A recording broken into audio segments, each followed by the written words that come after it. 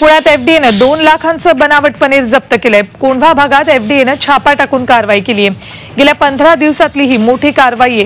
कोंढव्यात सद्गुरू कृपा milk and milk products या कारखान्यावर छापा टाकला. यात दोन लाखांचं पनीर स्किम टू मिल्क पावडर पामोलिन तेल असा मुद्देमाल जप्त केलाय.